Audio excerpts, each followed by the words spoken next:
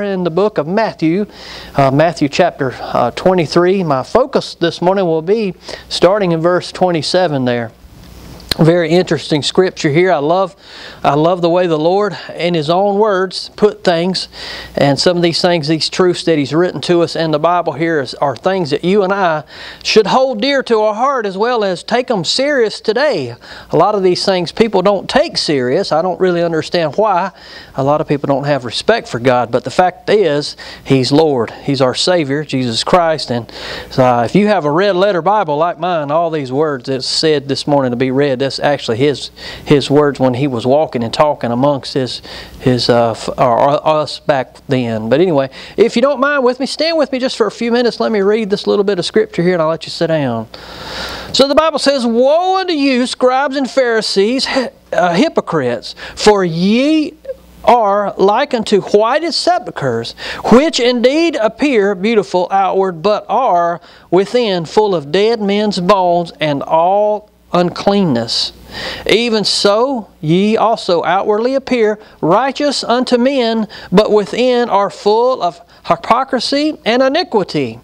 Woe unto you, scribes and Pharisees, hypocrites, because ye build the tombs of the prophets and garnish the sepulchres of the righteous.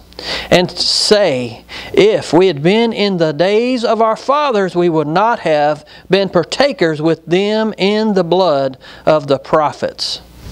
Verse 31 says, Wherefore ye be witnesses unto yourselves that ye are the children of them which kill the prophets. Fill ye up the open measure of your fathers.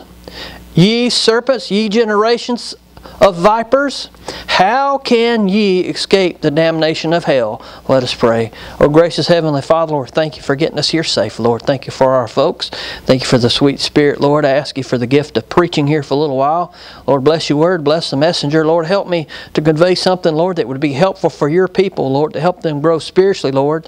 If they're here this morning and uh, discouraged or lost, or Lord, just lukewarm, ask it to be different. Lord, help this, what's said, Lord, your, your word, work in their heart and let their spirit, their Holy Spirit, let the Holy Spirit, Lord, work in their heart as well, Lord, to help them this morning, Lord. These things we ask on your Son Jesus' most precious name. Amen.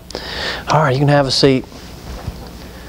If you notice in, in Matthew chapter 23, there's a lot of woe, is what Jesus is saying. Woe unto you you know, a lot of times we don't really look at what he's saying or we don't really think the gravity of what he was actually saying out of his own mouth. But you and I would think about it, this woe would have been a warning. Woe unto you, he's telling them. Uh, if you watch his words that he said, these words were very strong, but they, they could have been stronger. But and what I mean by that is he said, Woe unto you, and then set them straight. He told them how it was, but if you look at it and really analyze how he said it and the manner that he said it, it was still in a very loving tongue. He was strict on them, he was hard on them, but yet he was still loving. He was still loving and teaching them. The fact of it is, the Lord spent time on them trying to tell them and trying to correct them. And the fact of it was, He didn't just, just wash His hands with them and go away. Very, very important thing for us to see. He called them out, the, the scribes and the Pharisees and the Sadducees and the ones that were wicked. He truly called them out, but He didn't just wash His hands and move on. That's an important thing for us to see right up front.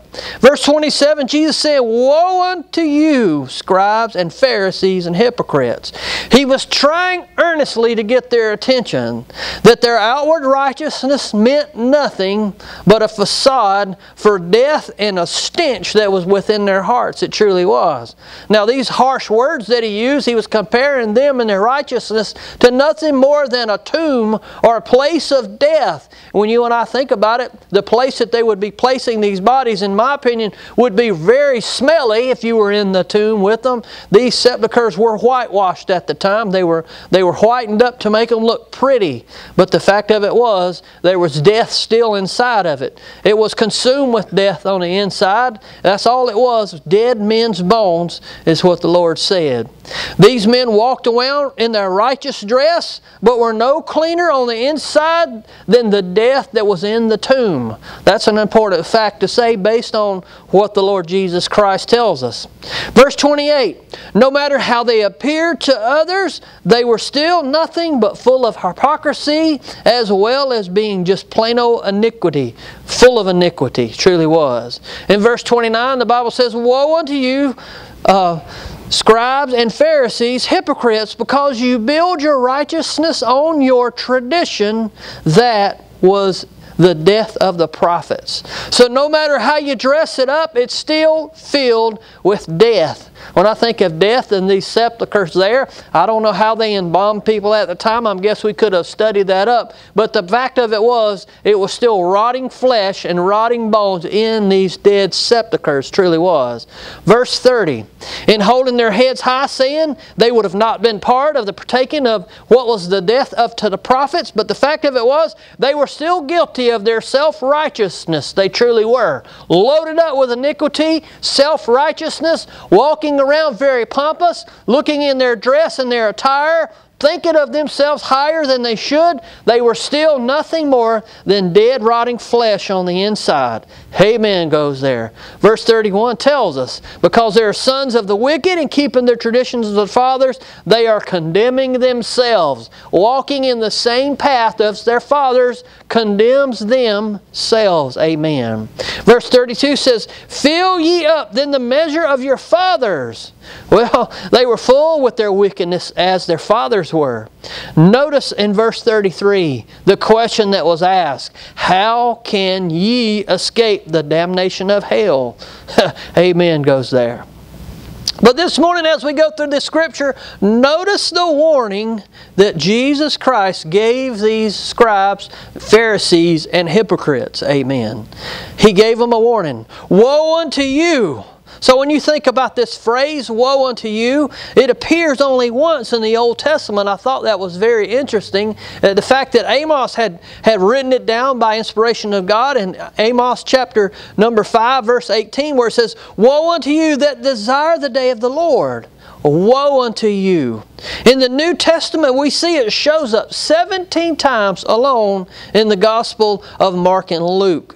Each time it was the spoken word of the Lord Jesus Christ out of His own mouth when He was in His physical form, walking and talking with those during His ministry, earthly ministry.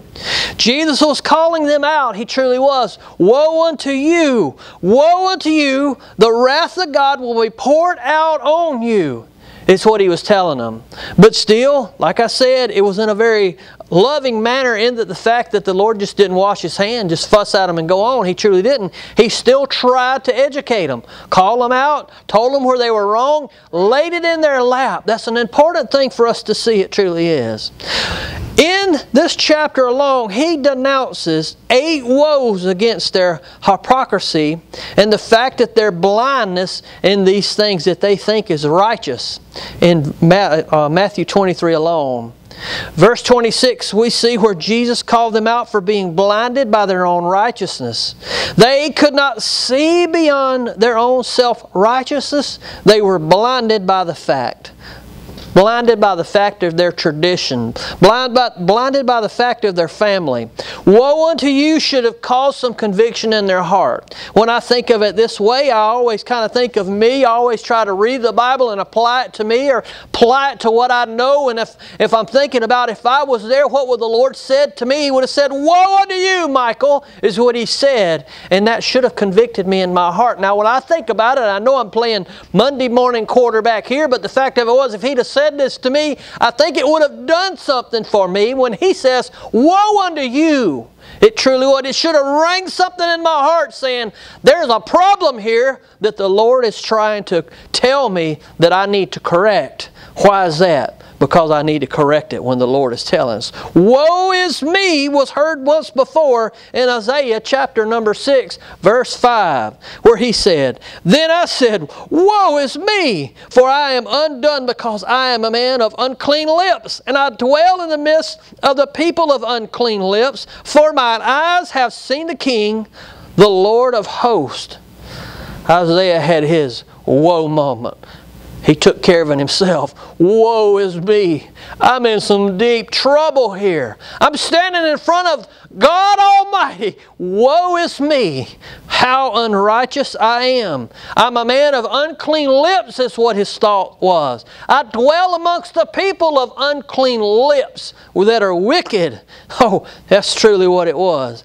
These Pharisees, Sadducees, and these hypocrites, they should have had a heart piercing moment that went on when Jesus said, Woe unto you. So it appears there was no conviction of these hypocrites at the time. Now, I'm not saying there was never any conviction of these hypocrites or these Pharisees because the Bible just doesn't tell us, but at this moment here, no one seemed to come clean with the Lord. They really didn't, based on what Scripture tells us. Maybe the Lord wanted us to see some more into it, he would have put it in there. He truly would have. So, sure, some could have come to repentance, repentance and called on Christ, but it just simply wasn't written in the Bible. It truly, honestly wasn't. Jesus warned his disciples of this same sickness that the scribes and Pharisees and Sadducees had. He truly did. In Matthew chapter 16, verse 6, the Bible says, Then Jesus said unto them, Take heed and beware of the leaven of the Pharisees and of the Sadducees. These folks, righteous folks, they had a disease. It was called their righteousness disease. Their iniquity was there was slam full of it. They truly was.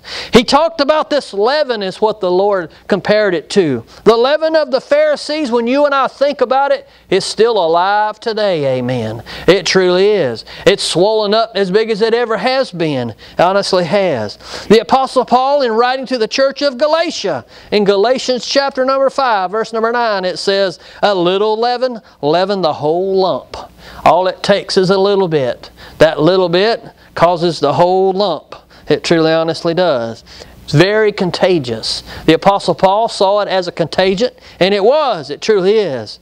In fact, many churches have that same self righteousness today. They honestly do. Got to be careful of that. So this morning, I'm going to lay it in your lap this morning. I'm not preaching on anything that pertains to you. I'm just going off of what the Scripture gives me this morning. But I do want you to see these five truths that every Christian should steer clear of, of the whitewashing of the righteousness. Amen. We need to steer clear of these things. The fact is, any doctrine other than the pure and perfect doctrine of Christ is whitewashed doctrine. It truly is. So when you think about that this morning, watch out for first truth is false doctrine. Doctrine truly matters. It honestly does. It matters. You know, when you think about it, it might not sound a whole lot, but anytime we form our own opinions that are indifferent from the Word of God, we're kind of making up our own doctrine. We truly are. We've got to be very careful of that. Anything contrary to what God's Word says, anything indifferent from what Jesus Christ has for us, is truly making up our own doctrine and we're walking in the ways of false doctrine, and we truly are. The leaven of the Pharisees was steeped in false doctrine and totally made of man-made self-tradition. It truly honestly was. So when I thought about that and I studied that up, it is amazing to me that so many so-called Christians today have a long list of these man-made self traditions. It truly is. It's amazing. That's the, the, the fact of it is that's kind of why you see a church on just about every corner is everybody has their own take on things and a lot of them are truly so far away from the doctrine of Christ and the things that God would have for them truly are so far away from it. It's sad. Why is that? Because of false doctrine. Because uh, they did it their way. Like uh, you know the singer, whatever his Frankie, whatever his name was, he did it his way. There's a lot of people doing it their way. And I'm going to be honest with you. We don't have a gospel that's like a Burger King gospel where you have it your way. You have it Christ's way. It's His way or no way. I don't really understand why people want to make it up their own way. And I know I've probably said that here before too, but the man that wrote that song, Me and Jesus, we got our own thing going. He just passed away last year, and I'm sure he found out that he and Jesus didn't have an agreement. That's a sad fact. When he stood in front of Jesus, when he finally left out of here, he realized that he and Jesus did not have an agreement. He either, either agreed with Jesus Christ or he didn't agree at all. There was no agreement there. Jesus Christ is not going to bow down to whatever our opinions are on things. He's not going to do it. Right. He's not going to make a way for you to sin, and he's not going to do it. He, he's, he's not going to bend his doctrine for our opinion. I mean, it's just not going to happen. He's not going to do it, amen. Me and Jesus, we ain't got our own thing going. I want what Jesus has going. I don't want what I got going. Amen. I honestly don't. In Matthew chapter number 7, verse number 5, Thou hypocrite, first cast the beam out of thy own eye, and then thou shalt see clearly to cast the mote out of thy brother's eye. That's some very important scripture that the Lord tells us. A lot of times people get so hung up on themselves and what they're doing, they can't see the things of God for them. They can't see how they need to make things of God personal to them because they're too hung up on what other folks folks are doing. It really truly happens. You know, but the fact of it is, it really just comes down to a heart problem. All of these truths that I'll give you this morning, they really are a heart problem. Either your heart's right with God or it's not, but the fact of it is, it's a heart problem. It honestly is. You know, if our hearts does not have the proper motives, then we become infected with the same leaven as these Pharisees. We truly do. This same approach, if not stopped, will bring forth destruction. It truly will. And it will bring forth destructive doctrine. Honestly, honestly will. In 2 Peter chapter number 2, verse number 4, the Bible says, But there were false prophets among also among the people, even as there shall be false teeper, teachers among you, who privily shall bring in damnable heresies, even denying the Lord that brought them, and bring them upon themselves swift destruction. The Lord said it would be swift. It wouldn't take time. It wouldn't be a long suffering. It would have been swift destruction.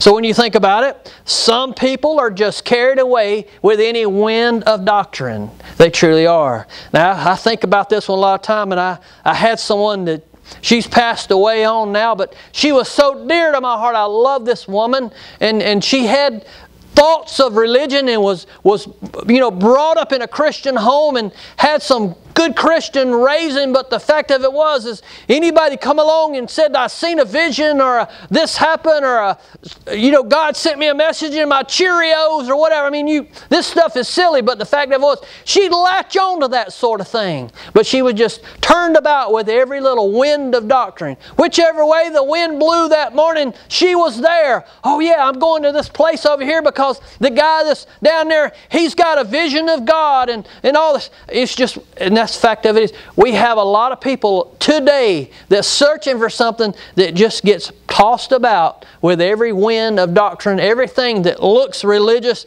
they latch on to. It happens to them, it truly do. Some people are just carried away by that. They really are. In Ephesians chapter 4, verse number 14, the Bible says that when henceforth be no more children, tossed to and fro and carried about with every wind of doctrine by the sleight of men and the cunning craftiness whereby they lie and wait to deceive. Well, when you, I just talked about the guy that saw the vision and somebody that thought that the Lord sent them a message in their Cheerios. But the fact of it is, it's just a way for people to deceive. That's all it is. It's a way for people to kind of relieve you of your money, relieve you of your resources, relieve you of your time. It truly is. But that's what those people do. Why is that? Because they have a motive that's not God's motive. Amen. It truly isn't lead you down a path you should never go. They honestly will. Some people today are just carried about with every wind of doctrine. Number two, watch out for ungodly motives. That's a very important thing. You and I, as a daily person trying to walk a daily as walking as a Christian, we should watch out for anything or anyone that has ungodly motives. That's a fact, it really is. In Matthew chapter 12, verse number 30, the Bible says, He that is not with me is against me, and he that gathereth not with me scattereth abroad. Amen. That's why I keep saying, never agree to disagree when it comes to doctrine. Amen. Never compromise when it comes to doctrine. Amen. So, why is that? Because anything that is not with God, is against God. It truly is. Not trying to be mean preacher this morning, not trying to be mean doctrine on a stance, but I'm just saying you can't do that. You can't agree to disagree. God's word is true. Anything that is against it goes against the word of God. It's contrary to Him. And guess what? It stands with the devil. Amen. It truly, honestly does. Every Christian has to watch out for these ungodly motives. Amen. Why is that? In Matthew chapter 7, verse number 15, the Bible says, Beware of false prophets, which come to you in sheep's clothing, but inwardly they are raving, ravaging wolves. Ye shall know them by their fruits. Do men gather grapes of thorns or figs of thistles? Even so, every good tree bringeth forth good fruit, but a corrupt tree bringeth forth evil fruit. Amen. Yes, it does. Amen, it does. Every Christian has to watch out for these deceitful workers. We honestly do. In 2 Corinthians chapter number 11, verse number 13, the Bible says, For such false prophets, deceitful workers, transforming themselves into apostles of Christ, and marvel not, for Satan himself is transformed into an angel of light. Amen. Every Christian has to make sure our own efforts with our standards do not join the ranks of these deceitful workers. Amen. Now, I love people's standards. I love people's convictions just as much as the next guy. But the fact of it is, when our standards and our convictions don't go along with what the Bible says, we're in, we're in, we're in trouble. We truly are. Every Christian has an action to reveal Christ in us. That's what we're supposed to do, not our own man made, made up things. We cannot be in name Christians only. We truly can't. Our actions, everything we do, if we call ourselves Christians, our every action should be a display of Christ in us. Honestly, we truly should. Amen. In Titus chapter 1, verse number 16, it says, They profess that they know God, but in works they deny Him, being abom- abominable and disobedient, and unto every good work reprobate. Amen. We have to be careful of those. Every Christian has to be watchful of these things, very watchful of these ungodly motives. Amen. If, we're, if we become a Christian in name only and our actions show no evidence of Christ, then we're nothing more than an ungodly act. You say, Brother Walker, what do you mean by that? We're just, we're just an ungodly act. We're just putting on a show. That's all it is, amen. In Matthew chapter 12, verse number 30, the Bible says, He that is not with me is against me, he that gathereth not with me scattereth abroad. I know I've said that verse before, but it's, worth repeating here. It truly is, amen. We're either with Christ or we're not, amen. Number three this morning, watch out for these outward appearances. These outward appearances, even sometimes folks get caught up in this stuff. We truly do. You know, you and I, we try to get dressed up for church. We try to put on our best.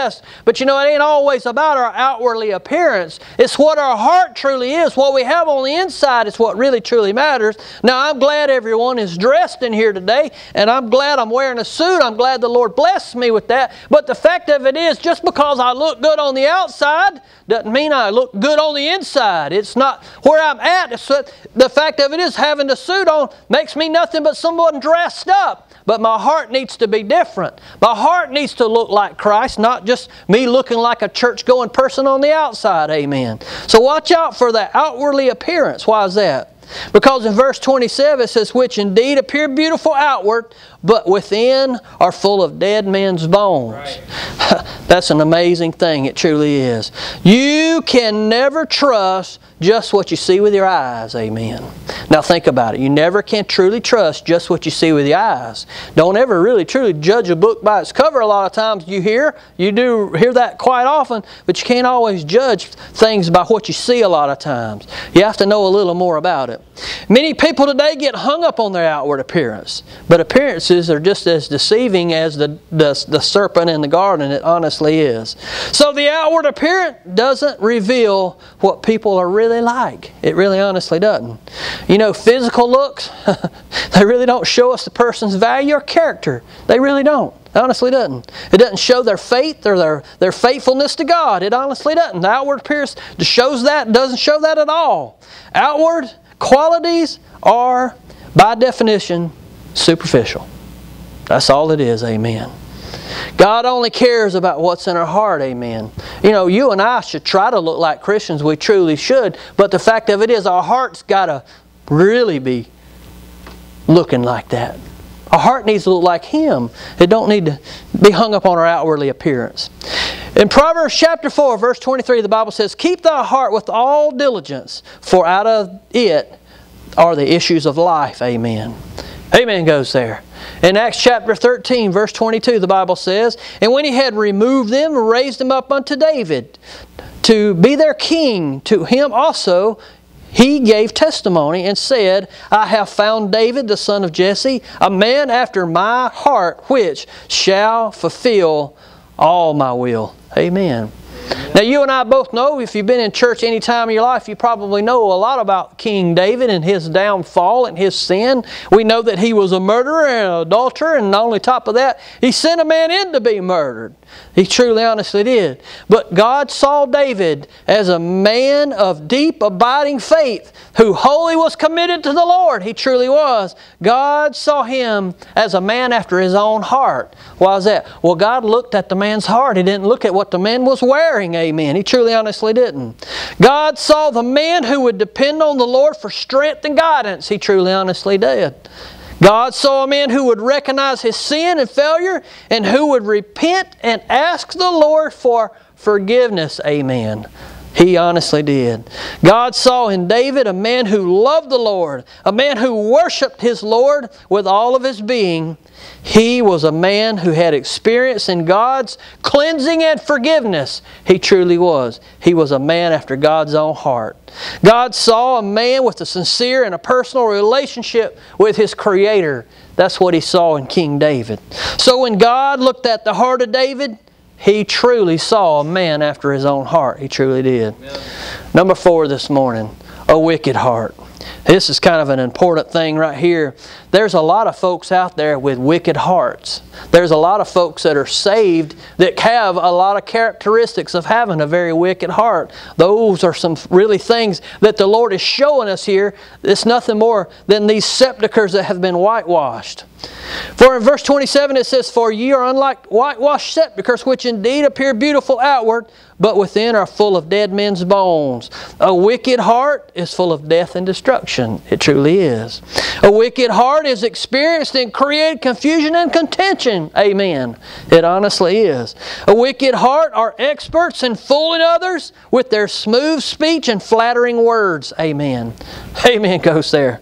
Proverbs chapter 21 verse 10 says, The soul of the wicked desireth evil. His neighbor findeth no favor in his eyes. Every Christian has to watch out for this one. The wicked heart can become a problem for any one of us. It truly can.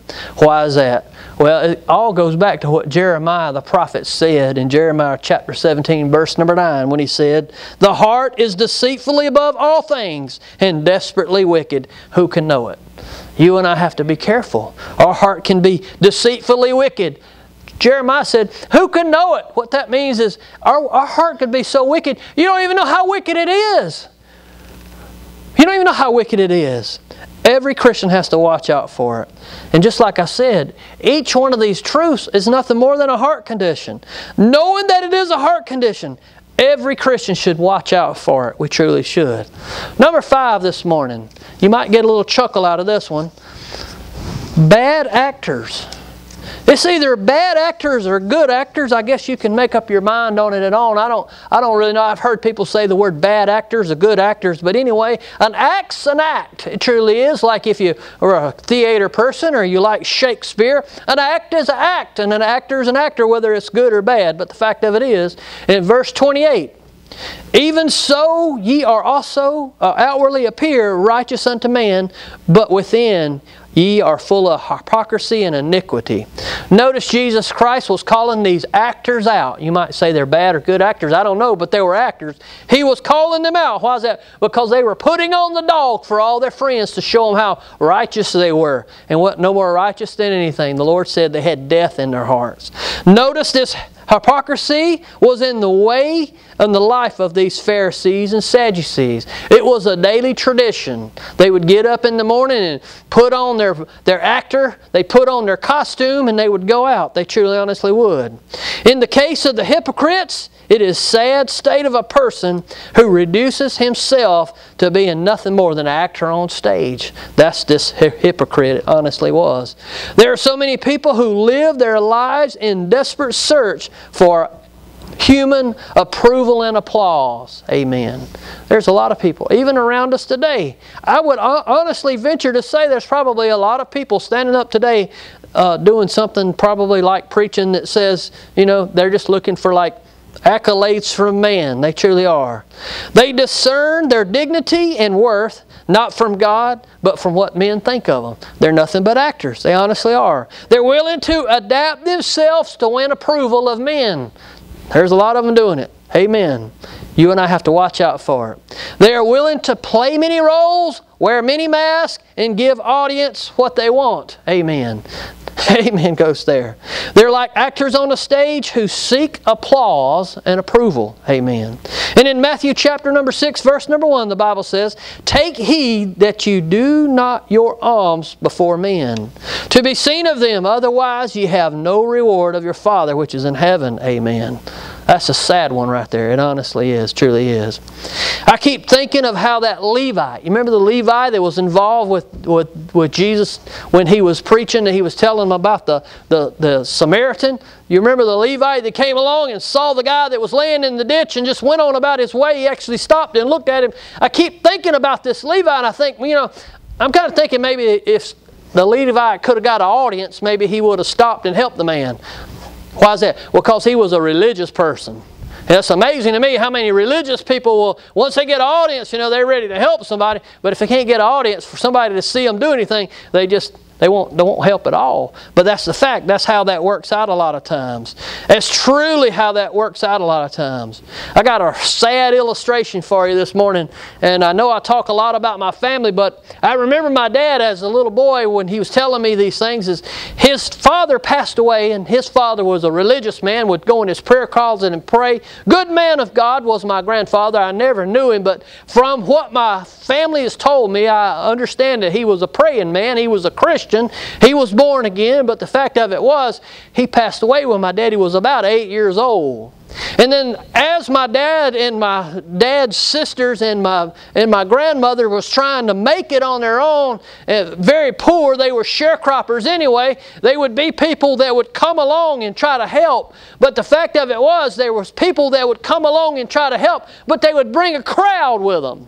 And the crowd was the problem, and that's kind of where my, I'm going with my story this morning is I remember my dad for many, many years many years, far back as I could remember as a little boy, my dad would never have anything to do with any church things related at all. When I was a kid, I was always involved with Vacation Bible School. I was always involved with programs. You remember Vacation Bible School had a main event at the end of the week and parents were invited. My dad never would go. He hardly ever would have anything to do with it. Matter of fact, I remember one time when I was part of the, the boys' RAs at the church and we had things going on and it got all the way down to where we had a father and son dinner that night or something like that. And then that night, something came up. My dad couldn't go, and I, I know my dad was a little sorry about not going because it meant so much to me. But the fact of it was, my dad wanted nothing to do with church people. You say, Brother Walker, you being mean. No, I'm not. Here's why. Because when he was a little boy, they were go hungry for weeks on end having nothing, being an eight year old, go hungry, and all this stuff. And then all of a sudden, when people showed up, they'd bring a crowd with them. And the crowd would be the crowd from the church, and they would be like, Look what we're doing for this poor family. But the fact of it was, when I think about this, every time I think about it, those people were nothing more than these old Pharisees and Sadducees that showed up to show everybody how righteous they was just to do something for this poor family. But that's a fact. But you know what it did? It caused my dad to never step foot in a church for 40 something years, far back as I can remember. He would not have anything to do with it. Believe it or not, and you think, well, Brother Walker, how did you even get to be a preacher? I don't know, but I tell you this much. My dad just despised pastors and preachers. He honestly did. I don't think he ever met one that had enough love in his heart to really try to help my dad. He just despised them. Growing up, he must have ran into some monsters, is all I got to say. He must have ran into some self righteous monsters. That's the only thing I can say. So when I got to the point where God's calling me to do something in ministry, I'm like, I don't know if I need to discuss this with my dad or not. My dad's going to look at me the same way he's looked at these other people. But the fact of it was, it was my mom's love for my dad that asked my dad every Sunday, James, you want to go to church with me today? Every Sunday. James, you want to go to church with me today? After 43 years plus of my, my mom asking my dad, James, you want to go to church with me today? My dad finally said, Yeah, I reckon I'll go. Where you want to go? My mom's like, Anywhere you want to go. So they ended up going to church. It wasn't too long after that my father got saved in church. I think he finally found a preacher that he somewhat trusted because the man showed him some love. But the fact of it is, where I'm going with this this morning is you and I, as Christians, we need to make sure we don't have this righteous facade and go around looking for credit and stuff. Why is it? Because it ruins people's lives. It truly does. When we show up and be all self righteous and stuff, it does people no good. You know, the best thing you can do for people is when you do something for somebody and you never tell a soul. Amen. That is the best thing to do if you want to help somebody. Do something for them. Don't even let them know you done it. Amen. I'm not being mean this morning. I'm just saying that's what happened to my father. That's why this is so important to me. This whitewash facade is what the Lord's talking about. Can happen to all of us. We have to watch out for that stuff. They keep thinking of how righteous they are, but inside, all they're looking for is man's alms. They want to be patted on the back. It's a horrible place to be. Every Christian has to watch out for that. Why is that? Because all of our actions must truly line up with the heart of Jesus Christ. There's no way around it. Our heart has to line up with Him 100%. It truly does. People need to see something real in us. They truly do. If we're Christians, we need to be real. You say, Brother Walker, what do you mean? We need to live real. This whole generation that's coming up, these young people, they don't see nothing real in religion. Why is that? Because people that call themselves Christians, they don't live like Christians. They really honestly don't.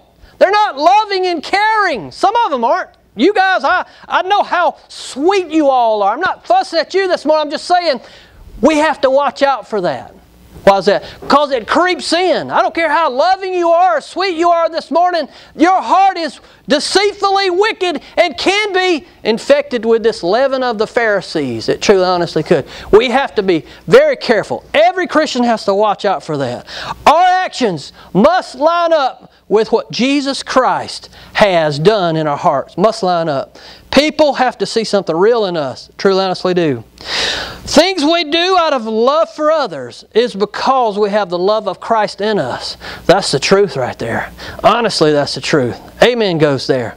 So it's back to what I just said. It's all a matter of the heart. It truly is. What, what are the things we love? If we love the Lord, the love of Him is in us. We'll love others. We truly, honestly do. So, how do we be aware of the leaven of the Sadducees and Pharisees? Let me give them back to you this morning. Uh, we need to make sure our heart never becomes whitewashed as these sepulchres. Now, when I was a little boy, I, I found my first uh, yellow jacket nest whitewashing fence post. I'll never forget that. First time I'd ever whitewashed fence post, my dad sent us out there. We had a farm in Hickory Tavern, and the first thing you do is you go through and you peel the bark off the cedar post. If anybody's ever done it, you know what I'm talking about. After a while, the, the post dries out, the cedar bark's still there, and you can just grab the cedar bark and pull it off. Well, Dad sent us through, me and my sister, and we were peeling the bark off the post, and then Dad made up this whitewash stuff. It was some kind of mix of maybe lime or something and water, or whatever, maybe some kerosene, I don't remember, but it was all in there. And then once we got that done, we would whitewash these posts. And the fact of it was, some of those posts were rotten, but we whitewashed them anyway. They were rotten, they were dead, they were laying there and just not even holding much up, but we whitewashed them anyway. we don't want our hearts to be that same way. If we're going to put on Christ's clothes of righteousness, our heart should have Him in it. We truly, honestly do. Here it is. Last, uh, let me give them back to you. Number one is watch out for the false doctrine. Number two is pay careful attention to ungodly motives this morning. Number three, look for more than just outward appearances. Amen. Number four, carefully watch for signs of a wicked heart. It could even be your wicked heart. Watch for signs of those, amen. And number five, be watchful of bad actors. There's a lot of bad actors in the world, and you and I have to be very careful to watch out for those bad actors. Let us pray. Oh, gracious Heavenly Father, Lord, thank you for having us here this morning, Lord. Thank you for getting us here safely, Lord. Thank you for the word that was said, Lord. I ask it to be something, Lord, that would help your people. Lord, I just preached the scripture. I did the best I could with it, Lord, with what abilities that I have, Lord. I ask you to bless what was said to be something to help your people. If not, Lord, to help uh, your people tell other people what needs to be done and what needs to be uh, done in their heart, Lord. Lord, I just ask for someone that drives by this church today that they see us here, Lord, and maybe they stop in even after services, Lord, maybe they'll get saved this morning. These things we ask, Lord, in your Son Jesus' most precious name. Amen.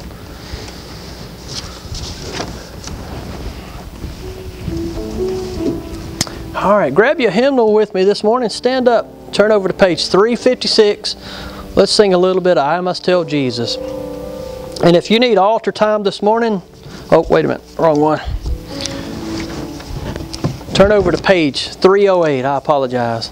Page 308, I surrender all. And if you need altar time this morning, if you'd like to come and pray, by all means, please do.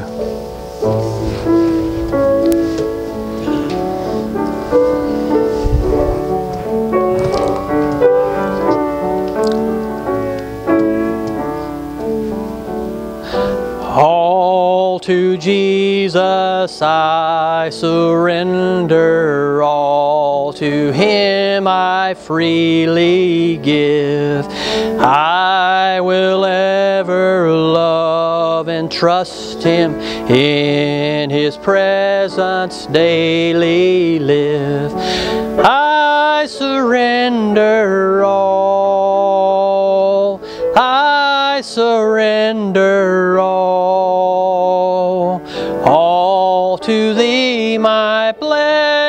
Savior, I surrender all.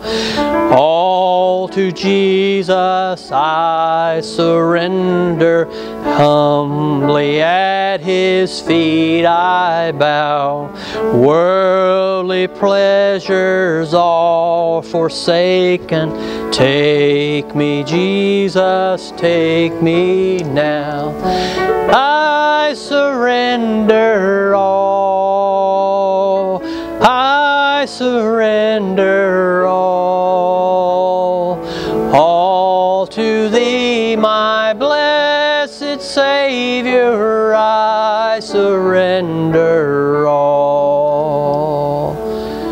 Well, amen. All hearts and minds clear this morning? All right. Uh, I know Brother Ed wanted to come up. Someone pray for us real quick. Brother Brian, would you pray for us real quick? Heavenly Father, I thank you, Lord God, that you, when you save us, Father, that you clean the inside of us, Father. Thank you, Lord, that you love us regardless of what we often are and the way sometimes that we behave. Father, help us that we might pay attention to things that we say and how we act, or help us to appear be a reflection of Christ in us. Father, just help us and, and uh, strengthen us as a, uh, your church, as your body. And we pray in your holy name. Amen. Amen. Amen. Amen. All right.